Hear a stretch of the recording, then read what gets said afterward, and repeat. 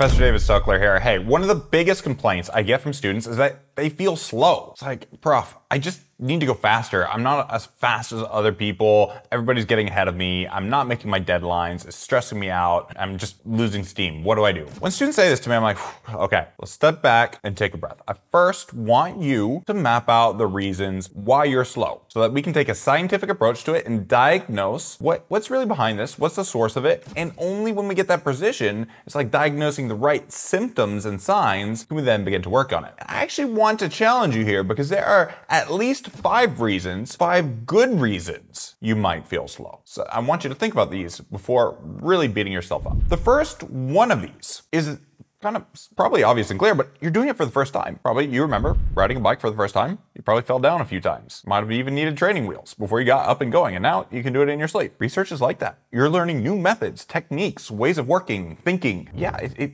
it's not easy to do for the first time, and it's gonna take you five, six times as long as what you'll be able to do in the future. Second, it's unpredictable. Things happen in science, especially when it's new, that you don't know. You know that you don't know things are gonna come across. And what can happen is when you have those unpredictable things, you don't feel a sense of control, a sense of control over your destiny. And this can lead you to feeling a bit deflated, like you don't have wind in your sails, feeling a bit flat, that you don't have control over the agenda. Again, with experience, with time, you'll be better able to know those unknowns and you will be able to predict the unpredictability. But again, remember, actually being slow and feeling slow are two different things. Third, it's nonlinear. So normally, right, imagine if you're working on a factory, imagine you're on a factory line, you're just dumping granola into a box. Well, I can kind of adjust a control knob. I'm dumping more granola into the box fast. I'm getting more boxes full of granola. And there's a one-to-one relationship between the work I'm putting in and the result and output I'm getting out. But research isn't like that. It's very non-linear. So there are times maybe when you can write and you're like, wow, I flew through 3,000 words. Other times you write and you're banging your head against the wall. Same thing with lab, with an experiment.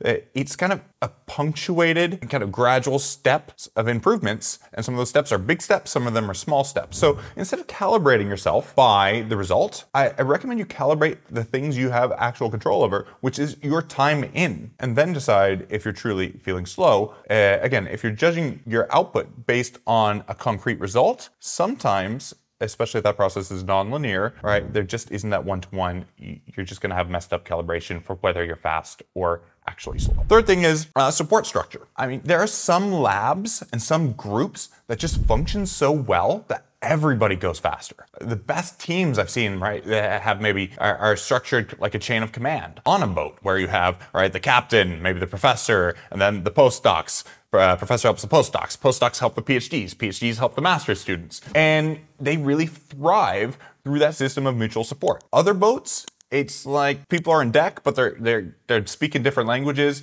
and nothing's getting done. And you can just see if you're on a boat that runs like a, a well-oiled machine, you're gonna be a lot faster because you got the support in place. Whereas the other boat, well, don't get on that boat. But again, I think sometimes people slip into this mentality of like, oh, I'm just gonna paddle as fast as I can, but they don't realize, well, okay, you're paddling great, but one is a speedboat and one is just a rowboat. It's right. So that we, we as individuals look for individual explanations for things, and we don't often see the environmental explanation for things for reasons that are often way beyond our control. Finally, and this is a big one. This is a big one, especially I'll say with millennials and, and younger generations. Social comparisons. So some studies have been done that looked at people's engagement with social media like Facebook to ask a question, hey, is Facebook making you miserable? Is Instagram making you miserable? What they found is for people who were over the age of 40, just no, no real effect on happiness. But for people who are younger, it was actually making them miserable. So uh, side note, guys, turn off social media. It's, it's not helping you. But there was a caveat. It depends on how you use it. And so the people who were making social comparisons on social media were feeling worse about themselves and it was making them miserable. Where the others uh, had a more of an internal inner compass and just didn't care. So that's my recommendation to you. Have your own internal compass, right? This your speed doesn't necessarily need to be somebody else's speed. Okay, of course there are some standard deadlines you need to respect, but set your own internal compass and stop making comparisons. Remember, if you're doing something for the first time, you can't compare yourself doing a project for the first time with somebody who's maybe more experienced on your team or in the lab or in, in another group who maybe is flying and you think, wow, they're just so good and great. I feel like a fraud. I'm suffering imposter syndrome now. No, there, there can be, as I've just talked about, lots of different reasons that have